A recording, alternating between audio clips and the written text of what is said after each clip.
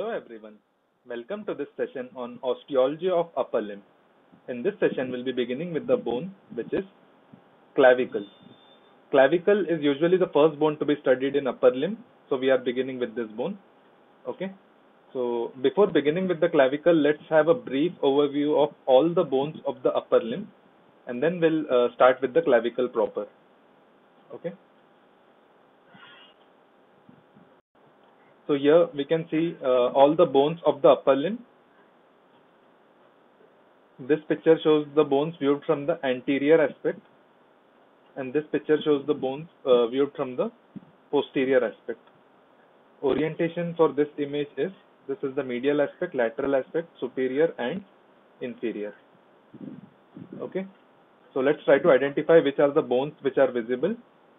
So this bone is the clavicle then this is the scapula.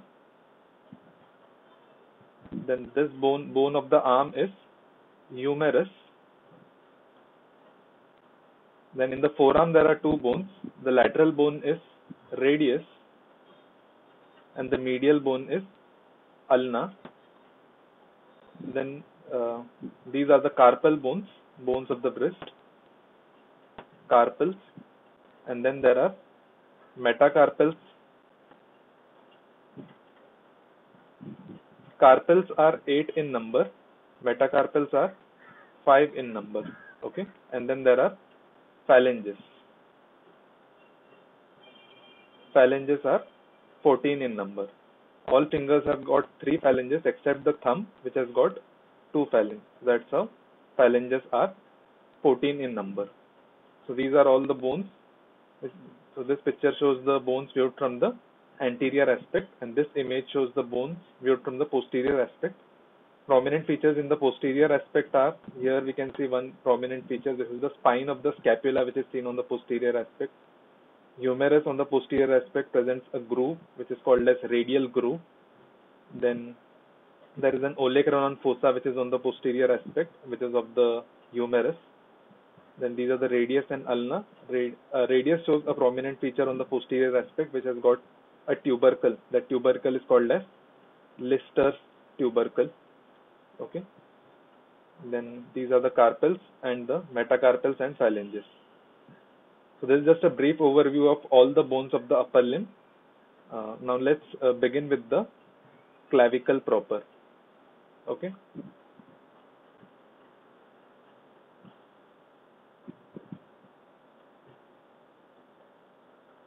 Clavicle bone will be learning in under following headings.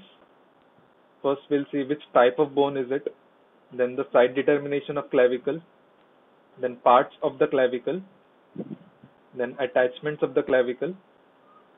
Attachments will see muscle attachments as well as attachments of the ligaments of the clavicle, then joints formed by the clavicle, there are certain peculiarities of the clavicle which are listed. We'll see what are those.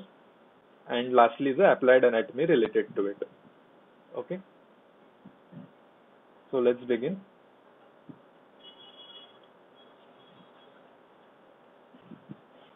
Type of bone and site determination. Clavicle is which type of bone?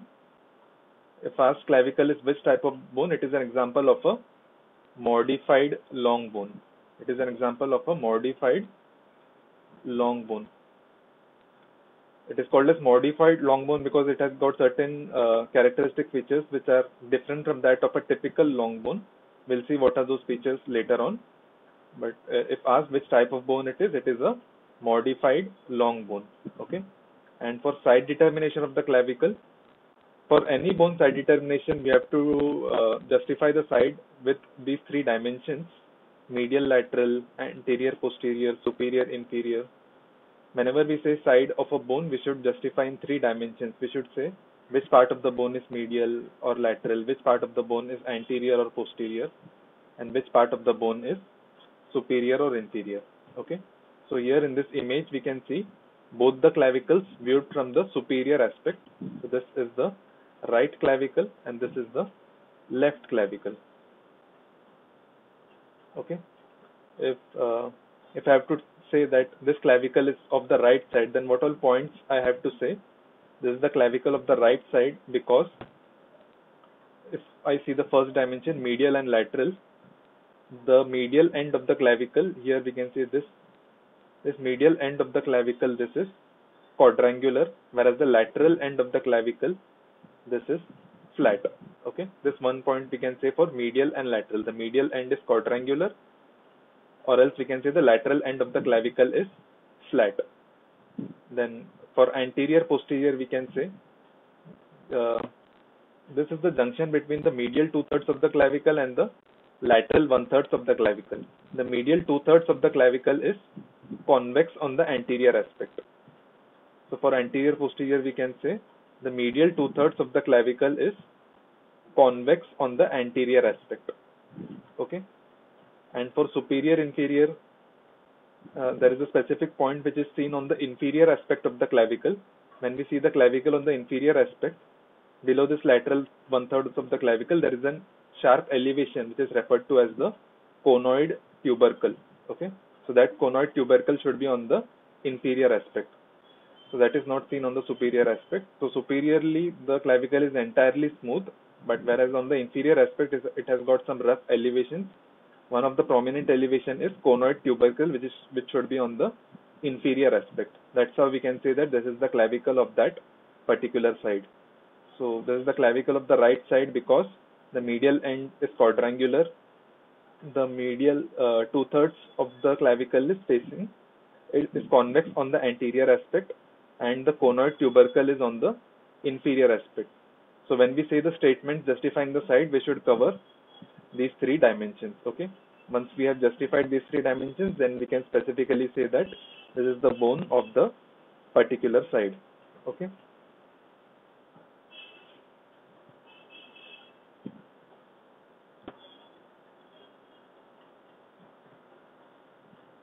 Now let's see the parts of the clavicle. So this is the clavicle uh, viewed from the superior aspect.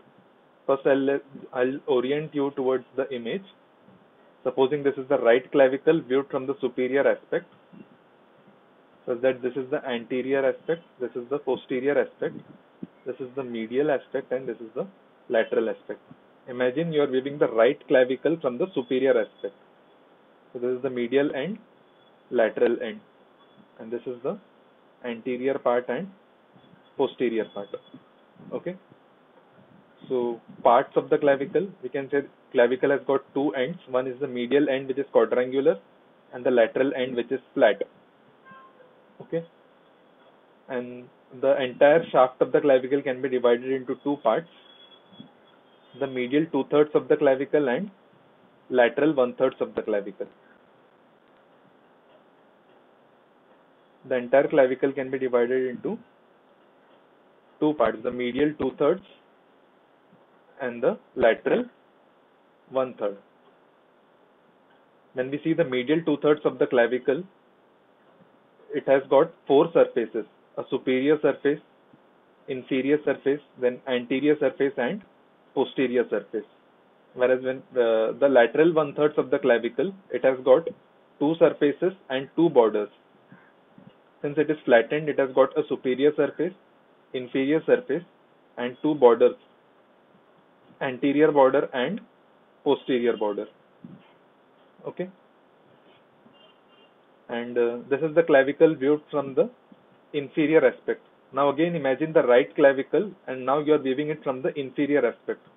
Now let's uh, give orientation to this image. We're viewing the right clavicle from the inferior aspect. This is anterior part this is posterior part this is medial part and this is lateral part. So right clavicle viewed from the inferior aspect, this is medial end and this is the lateral end. In side determination, I was talking about the conoid tubercle. You can see this sharp elevation here. This is the conoid tubercle. Okay. So conoid tubercle should always be on the inferior aspect when the uh, bone is held in anatomical position. That's how we can uh, specifically determine the side of the clavicle. Okay. In side de determination, this conoid tubercle is one of the most important thing which has to be looked for. Otherwise, uh, it may be difficult to identify the side of the clavicle. Okay. So on the inferior surface of the clavicle, one most important feature is the conoid tubercle and there is a ridge extending from the conoid tubercle. That ridge is referred to as trapezoid ridge. Trapezoid ridge, okay? Conoid tubercle and trapezoid ridge and uh, there is a groove here on the inferior surface of the clavicle which is referred to as the subclavian groove. Groove is referred to as the subclavian groove, okay? And uh, along the medial aspect, there is a rough impression, rough oval impression for the ligament which is called as costoclavicular ligament. Costoclavicular ligament. On the inferior aspect of the clavicle, there are two ligaments attached. On the medial aspect, there is costoclavicular ligament, and along the lateral aspect, there is coracoclavicular ligament. Okay, so there are impressions of these two ligaments which are seen on the inferior aspect. So let's again summarize uh, the parts of the clavicle. So the entire clavicle, we can say it has got two ends, a medial end which is quadrangular, a lateral end which is flattened, since the lateral end is flattened, it has got two surfaces and two borders. This is the superior surface and below will be the inferior surface. Here this region is the inferior surface and the two borders are anterior border and posterior border. Okay. Then the medial two thirds of the clavicle has got four surfaces, a superior surface, then inferior surface, then uh, anterior surface and posterior surface. So medial two-thirds of the clavicle is quadrangular having four surfaces, superior, inferior, anterior and posterior. Okay. And there are certain features along the inferior aspect of the clavicle. We learnt about the conoid tubercle and the trapezoid ridge. Then along the medial aspect, the there is an oval impression for costoclavicular ligament. Then there's a shallow groove for a muscle, subclavius muscle. The groove is named as subclavian groove. Okay. So these were the various parts of the clavicle. Now let's move on to the attachments of the clavicle.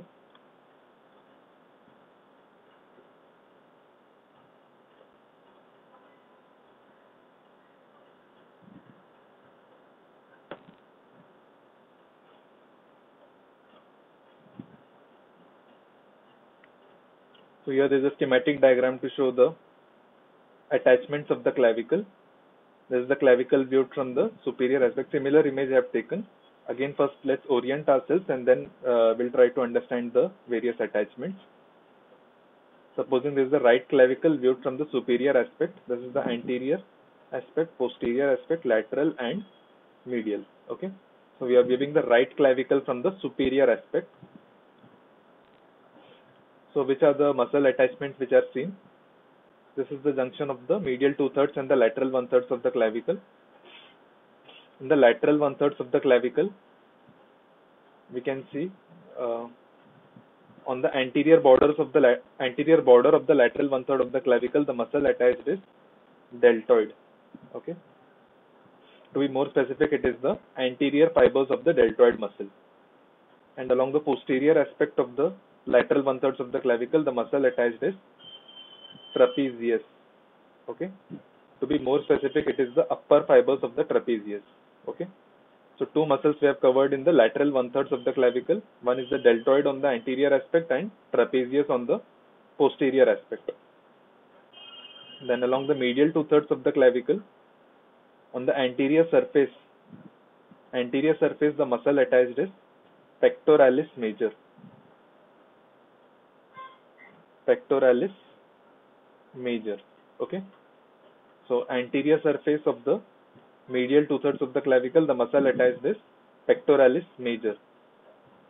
And this muscle here on the superior surface medial half of the superior surface the muscle attached is sternocleidomastoid. The muscle attached is sternocleidomastoid the name of the muscle is sternocleidomastoid because it has got attachments on the sternum. Cleido, the word cleido refers to the clavicle and then it has got attachments on the mastoid process of the skull as well. That's why the name of the muscle is sternocleidomastoid. the word cleido referring to the clavicle. Okay. So on the superior surface of the clavicle, medial half, the muscle attached is the sternocleidomastoid. Okay. So in this image, we have covered four muscles. Along the lateral one thirds, the muscle was deltoid and trapezius. Then along the medial two thirds of the clavicle, the muscle was pectoralis major and sternocleidomastoid. Okay. Then here we can see the inferior aspect of the clavicle. We had learned about a groove on the inferior surface of the clavicle. The groove was subclavian groove. Okay. And the muscle attached is subclavius. Muscle attached is subclavius. Okay. Attachments when uh, it is shown in red red color, it means it, the muscle is originating from that bone. If the if the color is shown blue color, that means there is insertion of that muscle. Okay. In general, as a rule in anatomy, you can remember if in standard books the red colored uh, markings are given on the bone that indicates that that is the origin of that muscle and if blue colored markings are given on the bone that means that is the insertion of that muscle okay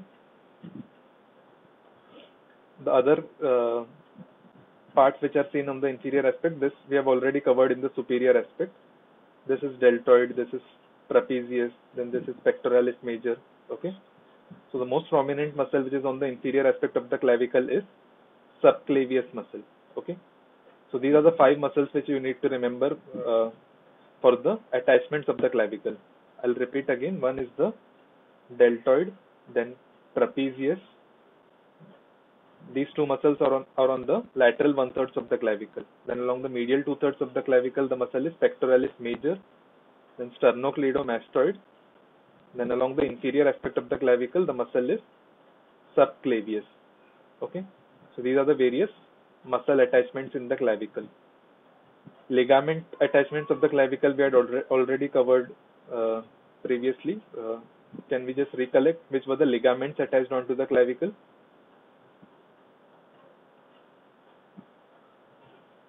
This oval impression here, the ligament attached was costoclavicular ligament costo costoclavicular ligament and the projection here conoid tubercle give attachment to a ligament coracoclavicular ligament coracoclavicular ligament coracoclavicular ligament has got two parts one is the conoid part another is the trapezoid part so conoid part will attach onto the conoid tubercle and trapezoid part will attach onto the trapezoid ridge which is on the inferior surface of the lateral one thirds of the clavicle. So ligaments, costoclavicular ligament, coracoclavicular ligament. There, there is one more ligament which connects the clavicle of the opposite side. That means the two clavicles are interconnected by a ligament which is called as interclavicular ligament.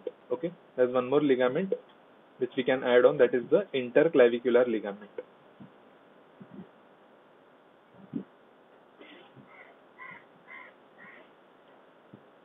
Let's move on to the next heading.